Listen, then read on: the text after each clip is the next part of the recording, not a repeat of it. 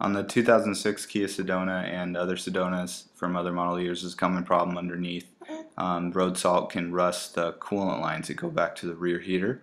Uh, on mine, I checked them out, They're pretty rusty.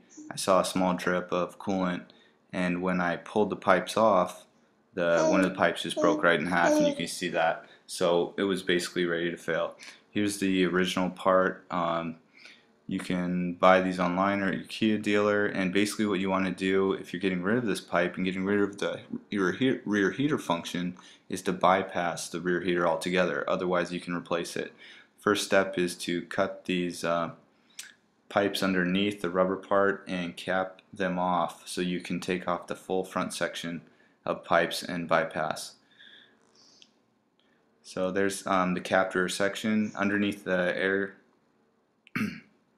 intake you can remove that and you'll see uh, the T-fitting that you should um, put a cap on that number three there. There's uh, from the underside there's actually two of them and that'll send the water excuse me coolant straight from the um, engine block to the front heater core and back and it will totally bypass the rear system.